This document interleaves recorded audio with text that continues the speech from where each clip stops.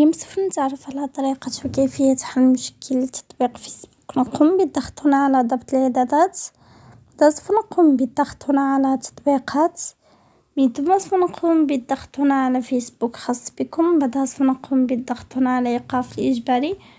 ثم سوف نقوم بالضغط هنا على الموافقة. بعدها سوف نقوم بالضغط هنا على مكان التخزين. ثم سوف نقوم بالضغط هنا على مسح تخزين مؤقت وبهذه الطريقة نكون قد قمنا بحل المشكلة. ولا تنسوا الضغط على زر لايك والاشتراك في القناة. ونراكم في الفيديو القادم إن شاء الله.